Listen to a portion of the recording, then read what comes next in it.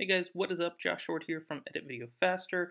This tutorial is to show you a super fast, simple method to duplicate a clip in your Premiere Pro timeline. So what you want to do if you're on a Mac like me, hold down the Option key. If you're on a PC, if you're on a Windows computer, hold down the Alt key, hold it down, click a clip, and then drag it to another spot in your timeline and that is going to duplicate your clip.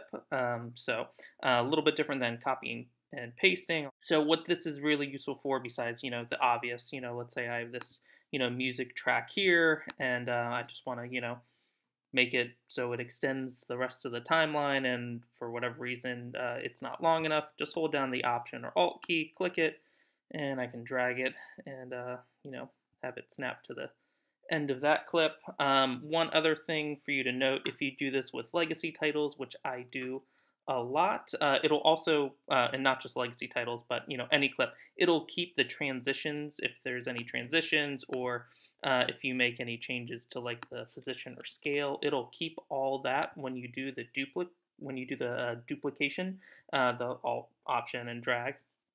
So uh, what you do, hold on Option Alt, drag it up to a new track and then it'll keep everything and it'll also make a new instance of that title. So over here in my titles, you can see there are now two baseball title, um, you know, titles.